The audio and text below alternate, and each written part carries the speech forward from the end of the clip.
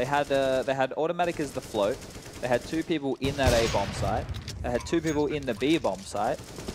You would have had three at any site once the attack had come in. I think it's just the underlying issue of Cloud9 seeming very uncomfortable on the CT side. Yeah. And they have to go for a play somewhere, right? Oh, look at this Skadoodle doing his best s1mple impression with the dropping kill and actually drops the smoke. Lures one out, he gets another. That's four kills for Skadoodle. He's tapped the bomb. Is Henny going to push forward? He has plenty of time for this Skadoodle. No, he misses Oh. the shot. Now he's going to get on the bomb. I think he's just going to stick it. Henny, he's got a Glock. He's got and it. he can't fight it. The He's knife coming in, and he's got it. Skadoodle. Skadoodle is a hero. What are you doing? This is an FPL.